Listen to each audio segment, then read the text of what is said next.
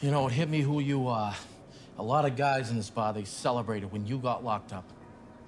You and I both know Terrence was not a crooked cop. Was he in this bar the night Boylan was killed, yes or no?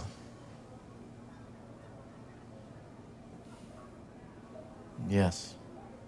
And did he suspect Boylan of being a dirty cop? Huh?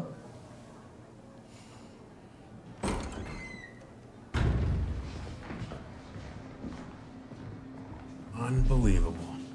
That was Walpole. Did you work your way right up to the honeymoon suite? Wow, patrolling Macklin. Yeah, how heavy you guys are breathing from walking 50 steps. What the hell are you doing here? This isn't a bar for Boy Scouts. Well, well, I said something insensitive to this young man who recently lost his partner, and uh, I think you guys just saved me an ass kicking, so thank you.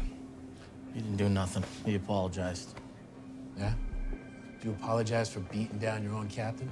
I never got the chance. Jesus Christ. A set of balls on you. I don't know if you noticed it, but it's Sergeant Macklin now. Oh.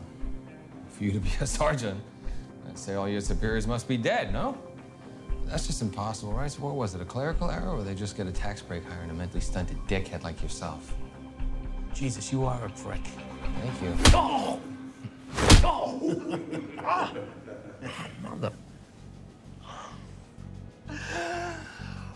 That was good. That was good. That was really good.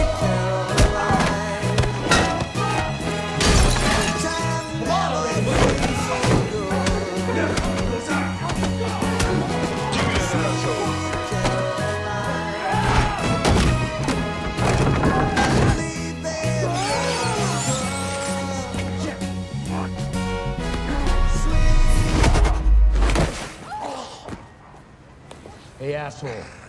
Get the fuck out of Massachusetts. You fucking hear me, Spenser? You're done.